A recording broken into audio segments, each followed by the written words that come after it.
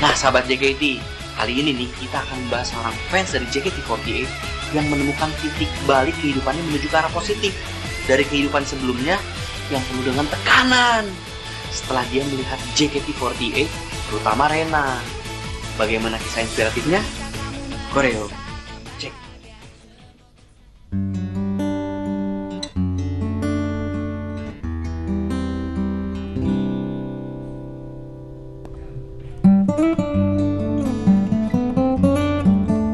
Namaku Nadia Fauzia Stamar Putri, umur 15 tahun, pelajar.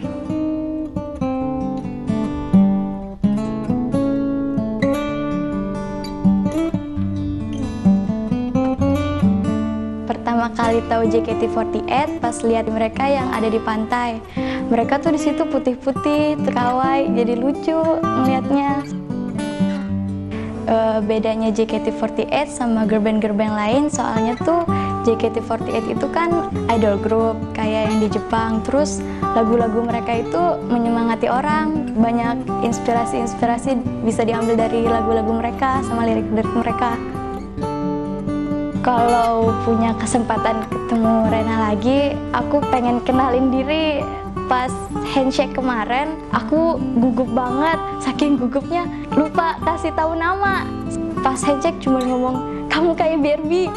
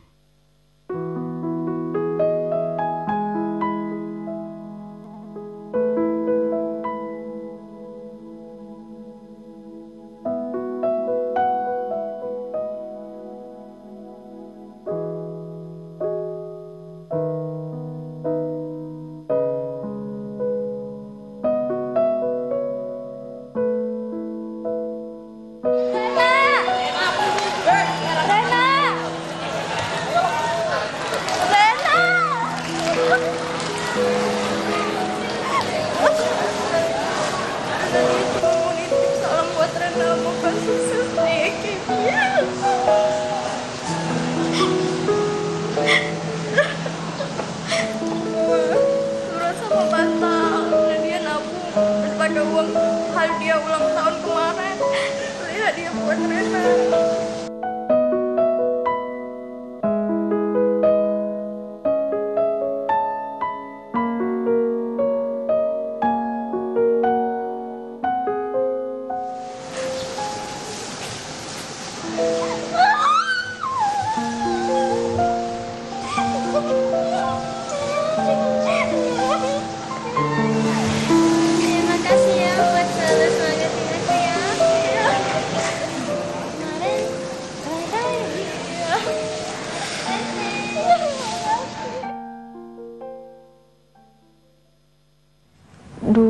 Aku itu orangnya eh, penyendiri, nggak punya temen. Aku menjauh dari teman soalnya di rumah itu ada masalah.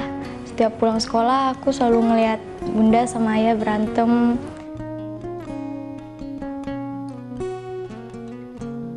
Kayaknya aku nggak bisa bantu apa-apa. Apalagi pas itu aku masih umur 10 tahun ngelihat kayak gitu. Aku belum bisa tindak apa-apa. Di sini ada bekas aku dulu mau mengakhiri hidup. Di sini yang dalam karena pas itu pakai kacanya dikencengin gitu.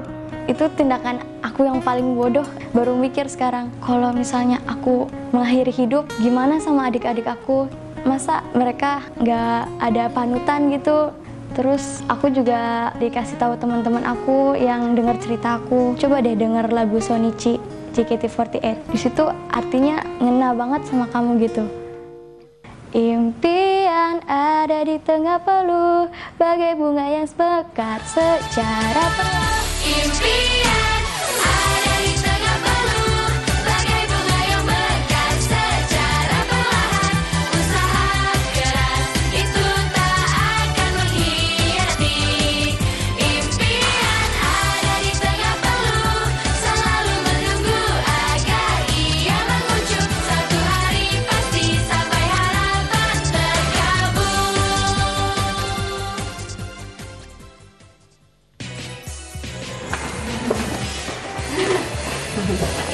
Ya, alhamdulillah ya.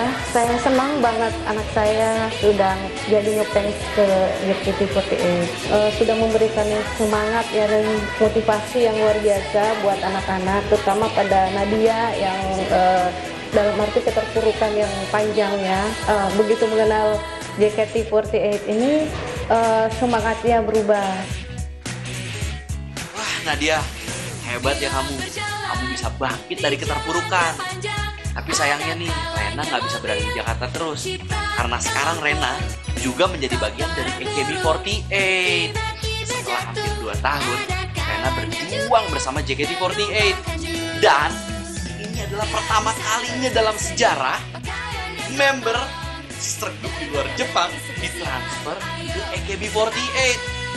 Wah, salut buat Rena, salut juga buat Nadia. Saya Faldasa, jumpa lagi minggu depan di JKT48 Story.